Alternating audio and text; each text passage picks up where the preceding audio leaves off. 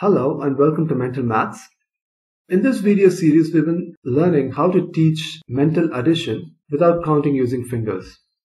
In the first video, we saw how to teach the portions shaded in blue. In the second video, we saw how to teach the portions shaded in yellow. In this video, we'll see how to teach the remaining portions in easy steps. So we'll start with the portions shaded in green. We'll start with what they have learned already. We'll use doubles in addition to teach this part. By doubles in addition, we mean 1 plus 1 is equal to 2, 2 plus 2 is equal to 4, and so on. By using this step, 1 plus 1 is equal to 2, we can teach 1 plus 2 is equal to 3. Similarly, from 2 plus 2 is equal to 4, we can teach that 2 plus 3 is equal to 5. And we can continue like this for the other numbers. 3 plus 3 is equal to 6, and 3 plus 4 is equal to 7. So by doing this, we can teach all these equations shown here. Now we'll see how to teach some of the equations shown here. For example, to teach 4 plus 5, we can start with 4 plus 4 is equal to 8, which they've already learned in doubles and addition. And from that, we can teach 4 plus 5 is equal to 9. Similarly, to teach 7 plus 8, we can start with 7 plus 7 is equal to 14, which they've already learned in doubles and addition and we can teach that 7 plus 8 is equal to 15. By following the steps, we can teach the portion shaded in green.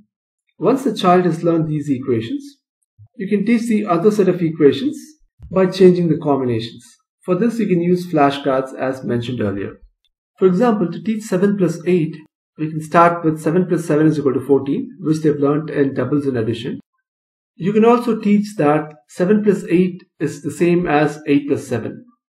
You can also use 8 plus 8 is equal to 16 and go in the reverse direction and teach 8 plus 7 is equal to 15. So this is also possible. Now in step 8, we can teach addition tables of 9. This may sound complicated, but we've already learned the equations in black in the previous steps. So there are only four new equations that the child has to learn now. Now by learning these equations, the child will be able to add any combination where there is a 9. Now in this step, we have covered the portions shaded in pink.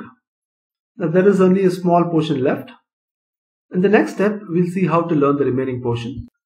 In step 9, we can teach combinations such as 7 plus 4, 7 plus 5, 8 plus 4, 8 plus 5 and 8 plus 6.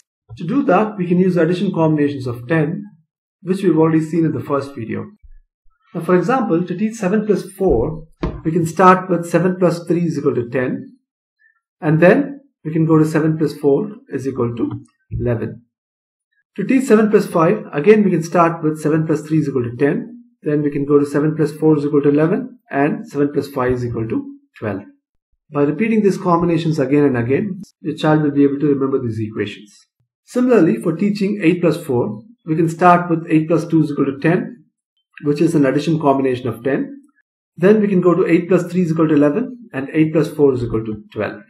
Similarly for 8 plus 5, we can start with 8 plus 2 is equal to 10, 8 plus 3 is equal to 11, 8 plus 4 is equal to 12 and your child will be able to say 8 plus 5 is equal to 13.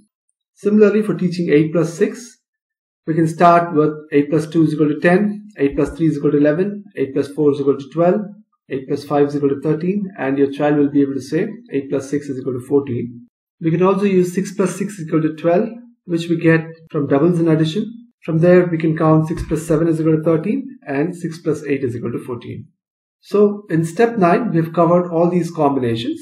Once a child is familiar with all these combinations, you can change the order and teach the other combinations. For example, 7 plus 4 is equal to 11.